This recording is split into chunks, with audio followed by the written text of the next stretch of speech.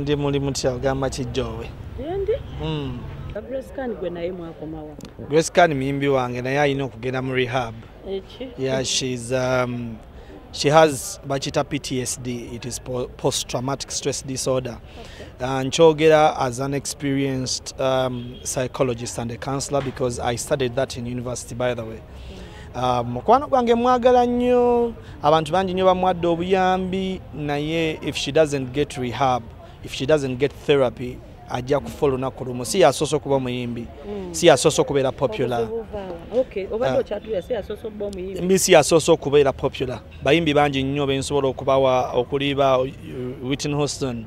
Shes the greatest vocalist the world has ever had. Naye yafa bulwadde oyo bwalina.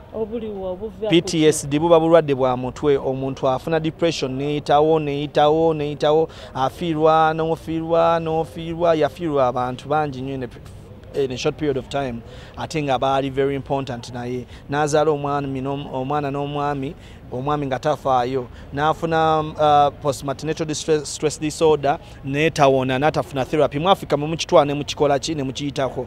Naye obwongo tebulinga nti obufikisinga it is something you need to address. Era grace can ali super talented ngenda kiddamu one of the best vocalists bemulina mu ggwanga naye bw'atalifuna help n'agenda mu, mu, mu, thera, mu therapy oba mu, um, mu gundi mu rehab ajja kufa nga mysteriously.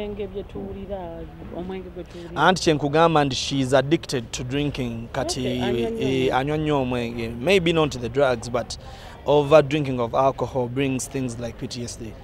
Yes kati abeera awo nga ali depressed all the time bwe yeekyanga asobola okwogera ekintu kyonna. Tolanga oluusi mwe mwogera naye ne mulanga ebintu biri uncoordinated.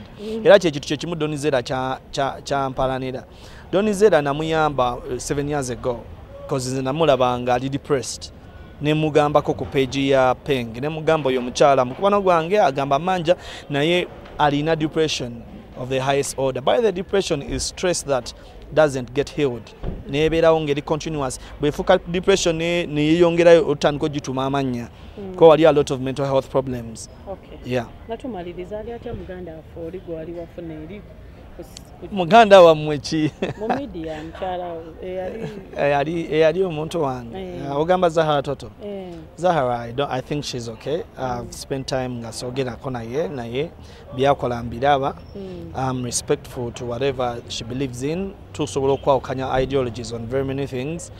Naye uh, ng'omusajja omuganda eyakuzibwa I respect her and I wish her the best Okay. n'abaana be ne family uh, I wish her the best. okay. Mm.